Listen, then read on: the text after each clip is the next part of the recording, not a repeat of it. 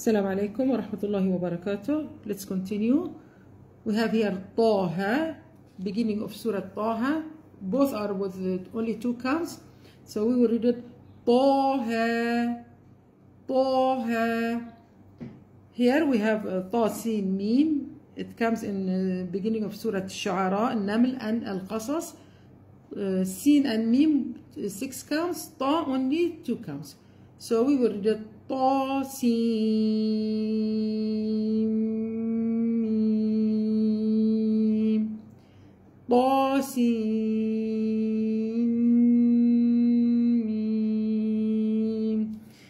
then we have only ta and sin.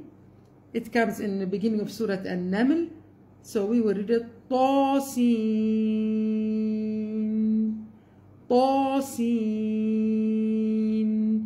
Ta, two counts, Sin, six counts. Then we have Yasin, of course, in the beginning of Surah Yasin. We read it, Yasin, Yasin. Ya, two counts, Sin, six counts. Thank you.